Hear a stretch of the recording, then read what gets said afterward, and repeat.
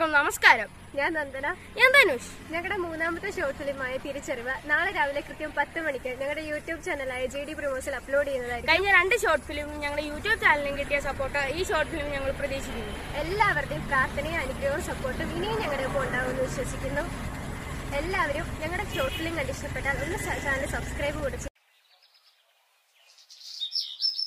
അപ്പുവിനെ വിളിച്ച?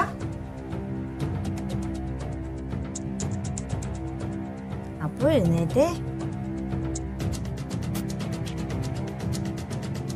എനിക്കിഷ്ടമല്ല അവനെ ആരും വേദനിപ്പിക്കുന്നത് ഈ പൊട്ടനിത് എങ്ങോട്ടാ?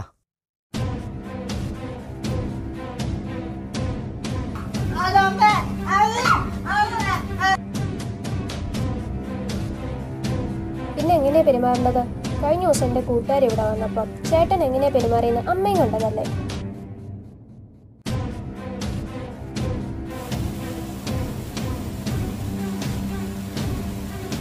അയ്യോ!